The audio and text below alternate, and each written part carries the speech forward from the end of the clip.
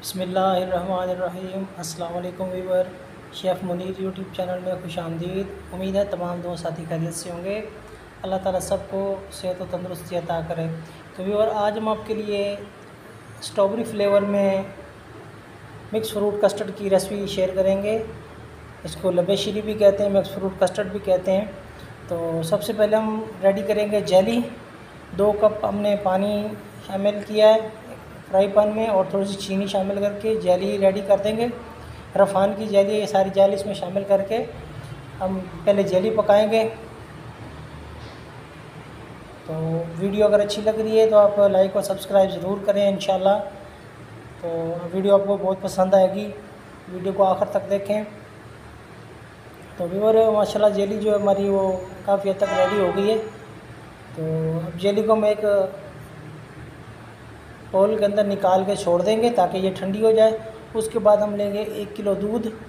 एक किलो दूध को हम अच्छे तरीके से पकाएँगे, उबालेंगे।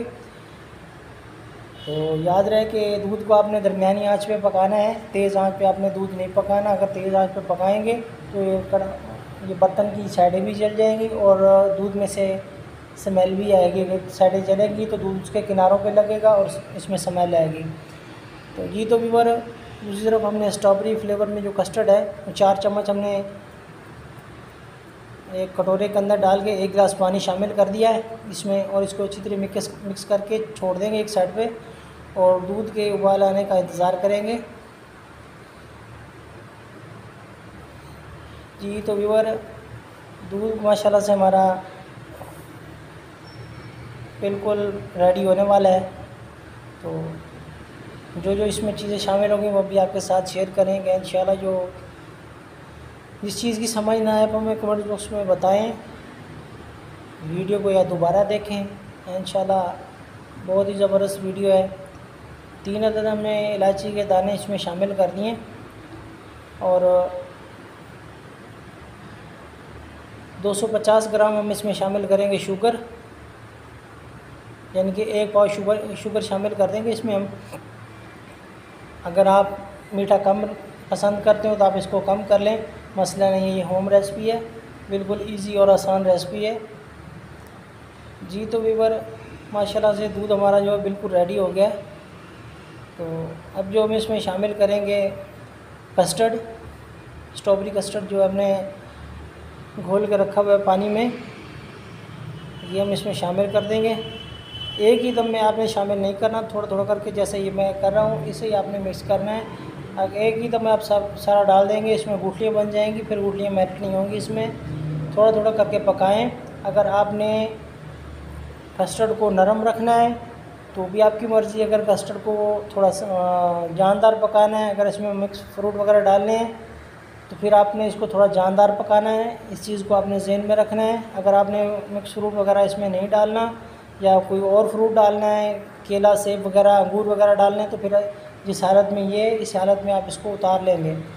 जी तो व्यूवर दूसरी तरफ़ हमने मिक्स फ्रूट को साफ़ पानी में डाल के रख दिया है, क्योंकि जो इसका मिक्स फ्रूट का पानी होता है, वो खट्टा होता है तो इसको हमने साफ़ प्याले में डाल के इसमें साफ़ ठंडा पानी डाल दिया ताकि इसकी खटास जो है वो ख़त्म हो जाए। तो दूसरी तरफ़ हमने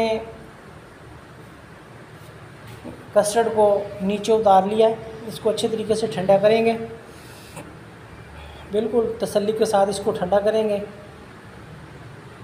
याद रहे कि आपने इसको ठंडा करके ही डालना है, जो भी इसमें चीज़ डालनी है, ठंडी करके डालनी है, गर्म है आपने कभी भी नहीं इसमें शामिल करना। तो वगैरह इसमें हम जो शामिल करेंगे,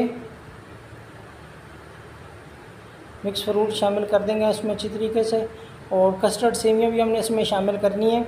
कस्टर्ड सेवियों को बनाने का तरीका कार यह है कि आप एक कप कस्टर्ड सेवियाँ लें, चार कप पानी लें और इसको उबाल लें। थोड़ा सा जानदार हो तो आप इसको छन्नी के ऊपर निकाल दें। इसका जो पानी हो सारा आप ज़ाया कर दें और कस्टर्ड सेवियाँ आप उठा के इसमें डाल दें, लबे शीरी में डाल दें।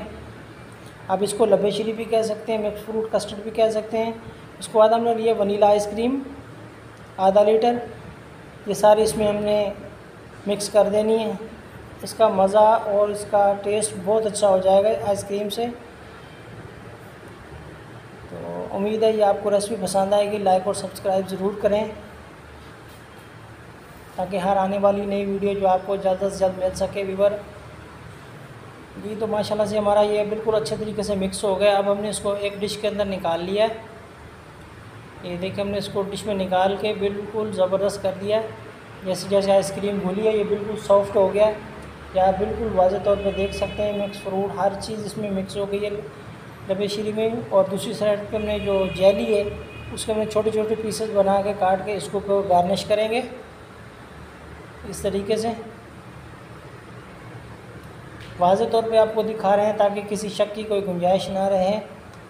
तो अगर मैं आपको ये वीडियो अच्छी लगी है तो आप हमें अपने राय से आगाह ज़रूर करें। इन अगर जिस चीज़ की समझ ना आए, आप हमें कमेंट बॉक्स में बताएँ कमेंट में बताएँ। तो इन मैं आपकी रहनमाई करूँगा। तब तक के लिए मैं इजाज़त दें। ढेर सी दुआ में याद रखना। अल्लाह हाफिज़। फ़ी मान